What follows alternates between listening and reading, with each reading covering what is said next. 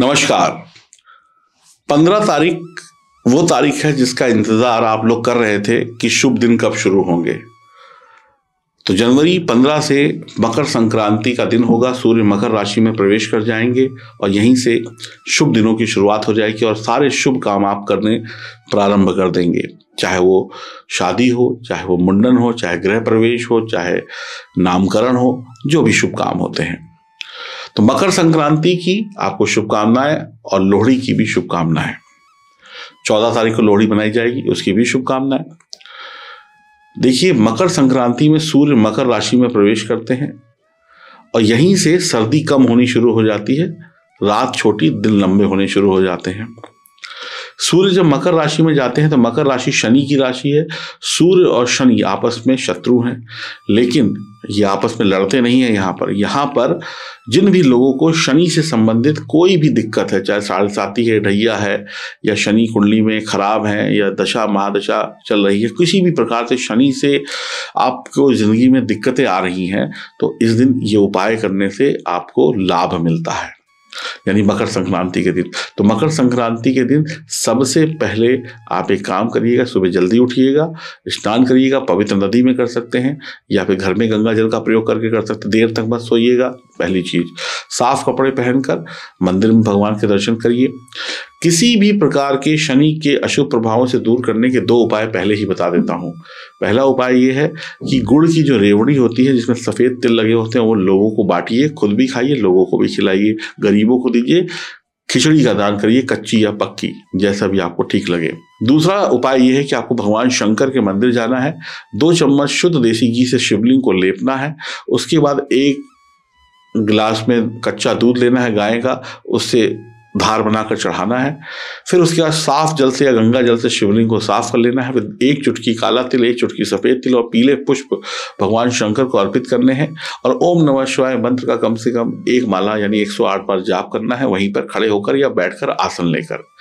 विधि पूर्वक और भगवान से अपने कष्टों की मुक्ति के लिए प्रार्थना करनी है। आपके शनि से संबंधित जितने भी कष्ट हैं वो दूर हो जाएँगे। नौकरी व्यापार में तरक्की आपकी होनी शुरू हो जाएगी। इसके साथ साथ आप लोग जितना हो सके आप दान करिए, गेहूँ का दान करिए, गुड़ का दान करिए, तांबे का दान करिए, ये सब दान करना आपके लिए बता, बड़ा ही शुभ रहता है। एक और उपाय आपको बता देता हूँ, ये महा उपाय है। ये उपाय ये है कि मकर संक्रांति के दिन गन्ने की खीर, यानी गन्ने की खीर बनाइए, यानी गन्ने का जो रस होता है उससे खीर बनाइए, या गुड़ की खीर बनाइए, चीनी की जगह गुड़ का प्रयोग करें, इससे को खाइए भी, खिलाइए भी, भगवान को भोग लगाइए, आपको बहुत लाभ मिलेगा। तो ये थे उपाय।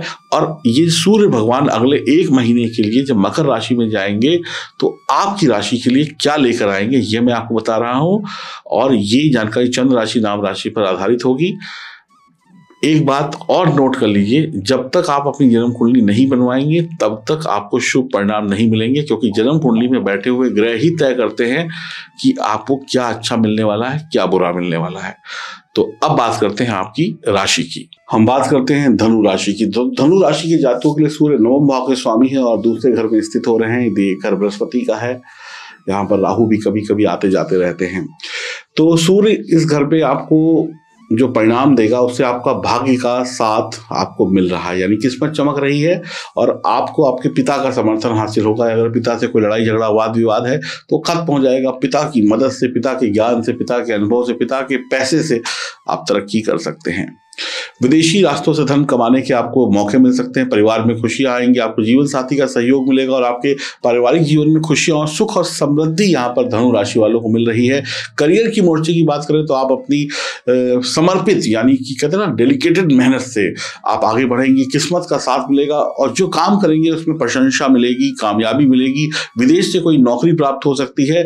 कई तरीके के नए अवसर आपके जीवन में सूर्य अगले एक महीने में लेकर आ रहे हैं। अगर आप व्यवसाय के क्षेत्र से जुड़े हैं तो भाग्य का साथ मिलेगा और अच्छा मुनाफा कमाएँगे। आपकी नई रणनीतियाँ कामयाब रहेंगी, यानी आपकी प्लानिंग्स कामयाब रहेंगी। पैसों के संदर्भ में बात की जाए तो किस्मत आपका साथ देने वाली है। आप ज़्यादा से ज़्यादा पैसा कमाने में कामयाब रहेंगे। आप जिस भी क्षेत्र में काम कर रहे हैं, उसमें कड़ी मेहनत करते हुए आगे बढ़ेंगे। बल्कि आप पैसा कमाएँगे भी और पैसा जोड़ेंगे भी, आपकी बहुत अच्छी आमदनी होने वाली है, यानी इनकम बढ़ने वाली है। रिश्तों की बात की जाए तो सूर्य का गोचर आपको जीवन साथी से रिश्ते मज़बूत बनाने में आपको कामयाबी देगा। आप जीवन साथी के साथ रिश्ते मज़बूत बनाएँगे तो जीवन साथी की तरक्की से भी लाभ होगा। पति पत्नी दोनों ही मिलकर पैसा कमा सकते हैं।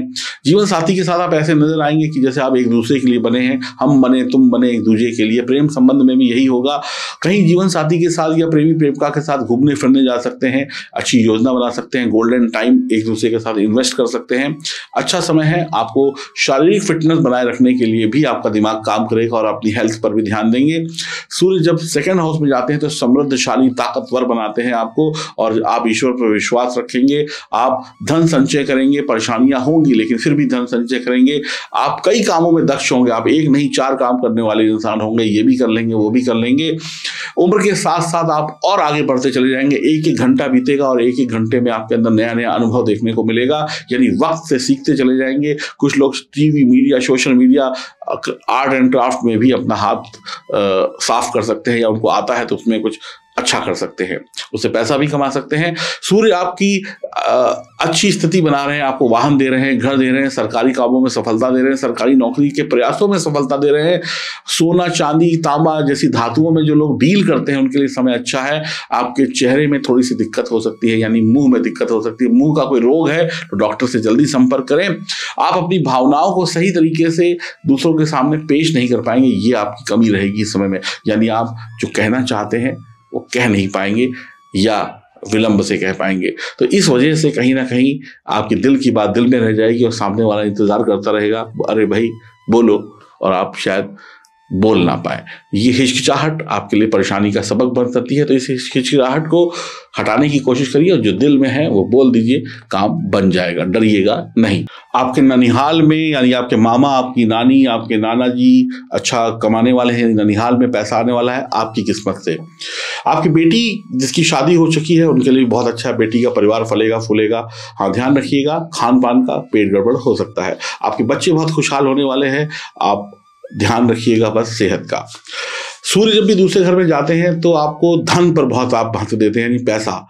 तो ज़िंदगी में आपके तीन चीज़ें बहुत हो जाती है। एक तो आप भौतिकवादी हो जाते हैं।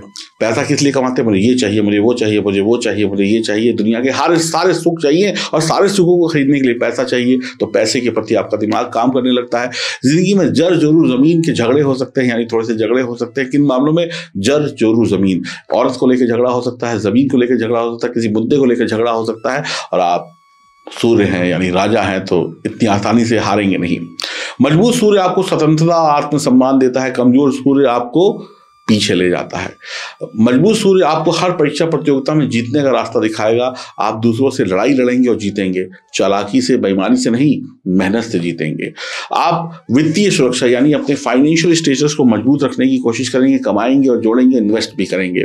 और अगर पीड़ित सूर्य होगा तो झगड़े बहुत होंगे, आँखों में दिक्कत होगी माइग्रेन हो जाएगा, काम ही नहीं कर पाएँगे, बस लड़ते लड़ते लड़ते लड़ते ही वक्त बीत जाएगा। तो सोच लीजिए, सूर्य कमज़ोर है तो लड़, लड़कर लड़, लड़कर समय ज़ीरो हो जाएगा और सूर्य अगर अच्छा है तो अच्छा कर कर कर करके आप हीरो बन जाएँगे। सूर्य यहाँ पर आपको आत्मनिर्भर बना रहा है, अपने काम, जो भी काम करते हैं उसमें एक्सपर्ट बना रहा है। बहन, बेटी जो आपके अगर हैं तो उनके जीवन में खुशहाली लेकर आ रहा है। आपके पास इतना पैसा आएगा, इतना संपन्न कर देगा कि सूर्य कि आप अपने रिश्तेदारों को भी कुछ दे पाए।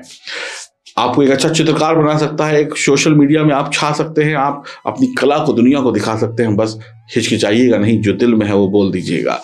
आप अपने भुजा बल, यानी अपनी ताकत, अपने दिमाग, अपने शरीर से जो आपके अंदर ताकत है, उससे पैसा कमाएँगे, आप शत्रु का नाश करेंगे, और आपका कोई भाई बहन अगर इस योग्य है कि उसे विदेश जाना है तो वो चला जाएगा या चली जाएगी। आपकी घर में बात सुनी जाएगी। आपको चंद्रमा से संबंधित चीज़ों का दान करना चाहिए। दूध का दान करना चाहिए और आप लोगों का कल्याण करते रहें, यानी लोगों का भला करते जो आपसे संभव है लोगों का भला करें। हरिवंश पुराण सुनना आपके लिए बहुत अच्छा होगा। सूर्य को गुड़, पानी में गुड़ मिलाकर जल देना आपके लिए बहुत अच्छा होगा। उगते सूरज को सरकारी अधिकारियों को खुश रखें, उनसे लड़ाई झगड़ा ना करें। महिलाओं के साथ संपत्ति और ज़मीन से जुड़े विवादों में ना फंसे। दूर दूर रहकर काम करें। मुफ़्त का प्रसाद लंगर आपको नहीं लेना है। मुफ़्त का दूध पीना कहीं पे दूध बट रहा है, कुछ बट रहा है, मुफ़्त का दूध पीना आपके लिए हानिकारक होगा। लोग आपकी नेकी को याद रखने वाले हैं, स्त्रियों से लड़ाई झगड़े से दूर रहना है, परिवार में स्त्रियों की वजह से लड़ाई झगड़ा हो सकता है। पिता से भी कुछ थोड़ी तू तू मैं हो सकती है। फिर बार बार कह रहा हूँ चंद्रमा से संबंधित चीज़ें गिफ्ट में नहीं लेनी चाहिए आपको इस समय में। अगर महिलाओं से संबंधित कोई समस्या है, मान लो कोई किसी महिला से किसी भी तरीके की कोई समस्या हो गई है तो शनि के उपाय करें। जैसे बादाम का तेल किसी धर्म स्थान पर दान दे दें तो जो महिला से आपका छत्तीस का आंकड़ा है, वो सॉल्व हो जाएगा गेहूँ, गुड़ या लोहे की कढ़ाई भी आपको दान देना मंथर स्थान में लाभकारी रहेगा। फिर मैं कह रहा हूँ, जिनका सूर्य खराब है, वो फंसते हुए नज़र आ रहे हैं और जिनका सूर्य अच्छा है, वो हँसते हुए नज़र आ रहे हैं। तो जन्म कुंडली में सूर्य का मज़बूत होना बहुत ज़रूरी है। हंसोगे या फंसोगे, ये तो आपकी कुंडली तय करेगी। और कुंडली कितनी इंपॉर्टेंट होती है जीवन में, मैं आपको अब बता रहा हूँ। ध्यान से सुनिएगा। आप परेशान हैं? किस बात से परेशान है? नौकरी नहीं लग रही है? व्यापार अच्छा नहीं चल रहा है, प्रमोशन नहीं हो रही है। कैसे अपने घर परिवार को चला पाऊँगा? कैसे अपने जीवन में सफल बन पाऊँगा? मैं क्या करूँ? मैं मेहनत करता हूँ, मैं सुबह से शाम तक लगा रहता हूँ या लगी रहती हूँ, लेकिन मैं वो नहीं कर पा रहा, मैं वो नहीं कर पा रही जो मुझे करना है। आपकी कोशिशें तब तक सफल नहीं हो सकती जब तक आपकी जन्म कुंडली का हर एक सितारा आपका साथ ना दे। मैं साल 2024 में आपको ये गारंटी देता हूँ कि आप अपनी जन्म कुंडली की जाँच कराइए। मैं और मेरी पूरी टीम आपकी जन्म कुंडली के हर अशुभ ग्रह को जांचेंगे, परखेंगे और सरल उपाय बताएँगे जिसको एक सामान्य व्यक्ति घर बैठे कर सकता है। कौन सा रत्न पहनना है, कौन सा रुद्राक्ष पहनना है, क्या दान करना है, क्या नहीं करना है, ये सब कुछ आपको बताएँगे। और मैं चाहता हूँ आप हमसे मिलने के बाद हमेशा मुस्कुराते रहे, क्योंकि आपकी जन्म कुंडली में ही छिपा है, आपकी मुस्कुराहट का राज अपनी अपॉइंटमेंट बुक कराने के बाद दुखी नहीं रहेंगे, क्योंकि आपका बुरा वक्त चला गया है। मिलाइए फ़ोन करिए अपनी अपॉइंटमेंट बुक और जीवन में लाइए अनेक मुस्कुराहट, क्योंकि आप मुस्कुराएँगे तो आपके साथ साथ आपका परिवार मुस्कुराएगा। अपने लिए नहीं, अपने परिवार के बारे में सोचिए तो अपने सितारों को मज़बूत कराना आपका परम कर्तव्य है और हमारी ये गारंटी है कि हम आपको दुखी नहीं रहने देंगे। अब अगला काम आपका है अपनी अपॉइंटमेंट बुक करने का।